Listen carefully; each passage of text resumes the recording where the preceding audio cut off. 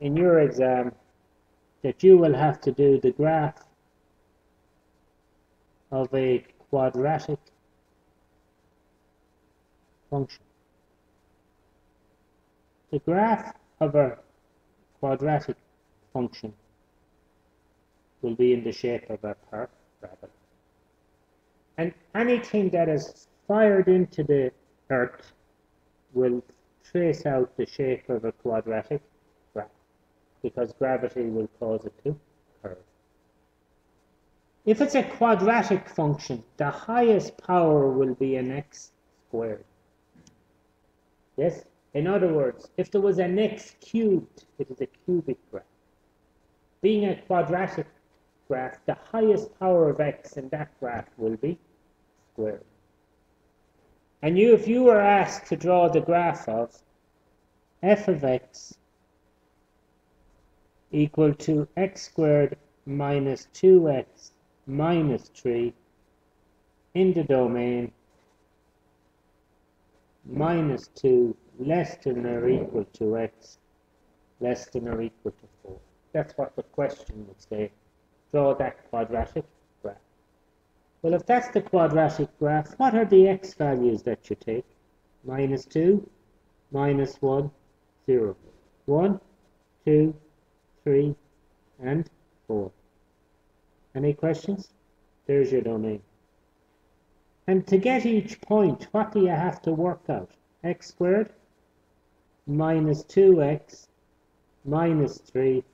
And when you add them up, what do you have? So drawing a straight line, there was just the x and the number, the linear function. Now it's a quadratic function that we're not able to see. Alright? And there is an x squared now. The x squared line means I square each one of those. What's minus 2 to be squared? Minus 2 by minus 2 plus 4. Minus 1 to be squared, minus 1 by minus 1, 1. Because minus by minus gives. And anytime you square a number, no matter what its sign, what will it turn out to be? 0 to be squared, 1 to be squared, 2 to be squared, 3 to be squared, 4 to be squared. Any question? Minus 2x means you multiply each of those x values by what? Minus 2 by minus 2, 4. Minus 2 by minus 1.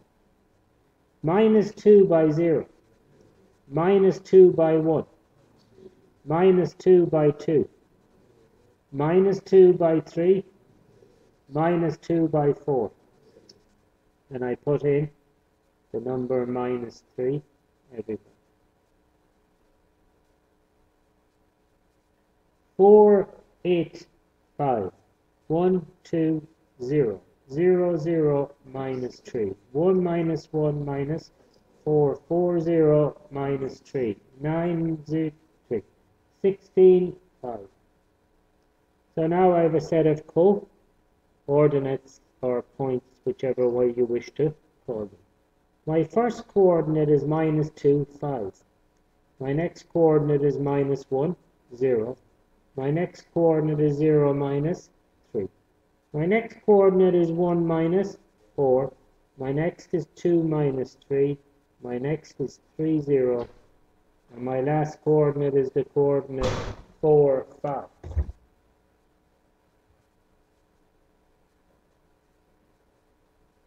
You any questions? I have to graph those now. So, I borrow a pencil there, please, for one. So, the x-axis starts at, what's the lowest x value? Minus 2. The biggest x value? 4. Well, I may need more room on the negative side or the positive side. So I need more room. Negative side, positive side. The y-axis, the biggest value is 5, and the smallest is minus 4. So I can split it in around the middle, yeah? I need a tiny bit more room on top than on bottom. I think I'll be able to fit in one inch for each thing. minus 1, minus 2. 1, 2, 3, and 4. That's that scale. 0, 1, 2, 3, 4. Do I need a darker pencil? Minus 1, minus 2. Anyone a darker ink? A, a darker lead? Do you know? A 2B or something? Here. It's just easier for you to see it. Pass one on there. I have one. Thank you. On this axis, I have to go up to 5 and down to minus 4. I'll make it. 1, 2, 3, 4, 5, minus 1, minus 2, minus 3, minus 4. Minus 1, minus 2, minus 3, minus 4. 1, 2, 3, 4, and 5. My points, minus 2, 5. Minus 1, 0. 0, minus 3. 1, minus 4. 2, 1, 2, 3, 0. 4, you understand those set of points? And they make a smooth curve. So we'd start off and we'd go lightly down along till we get the shape. And then it will come down along in a curve and it will make a nice U shape. They're not joined up by straight lines. Yes? See my curve here?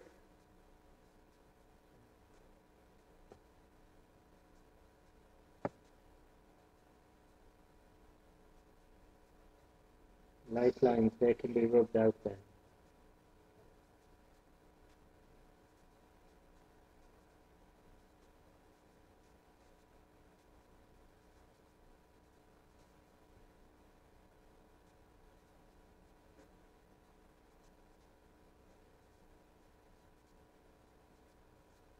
That is the graph of a quadratic function. If it's a plus x squared graph, it'll have a U shape. If it's a minus x squared graph, it has an N shape. So things that go thrown into Earth, will they be plus x squared or minus x squared? Do you understand that? Yeah? And then there is your quadratic graph. And then you go back and you take out these type of lines out of just to make it your perfect curve. Is that alright? Have you any questions? Now, see this table? Yes? Okay. Your calculator will give you the table. You're expected to show your work, but you can check if your answers are right. Right? So if you go into mode, just watch, you get choices. You get one, two, but three says table. So you hit three.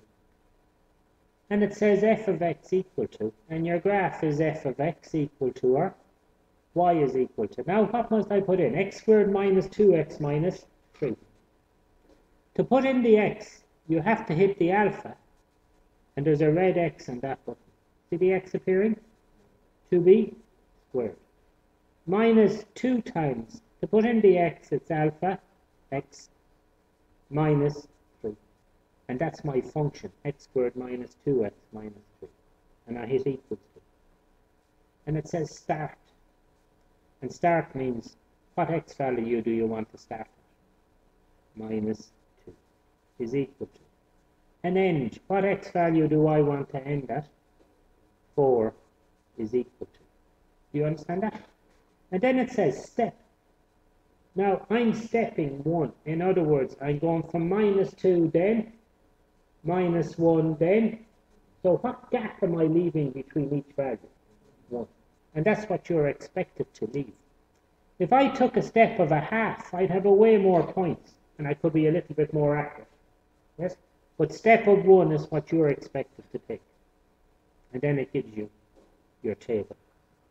It says minus 2, 5, minus 1, 0. 0 minus 3. And it will say 1 minus 4, 2 minus 3, and it gives you your set of points. So not much excuse for getting the table incorrect.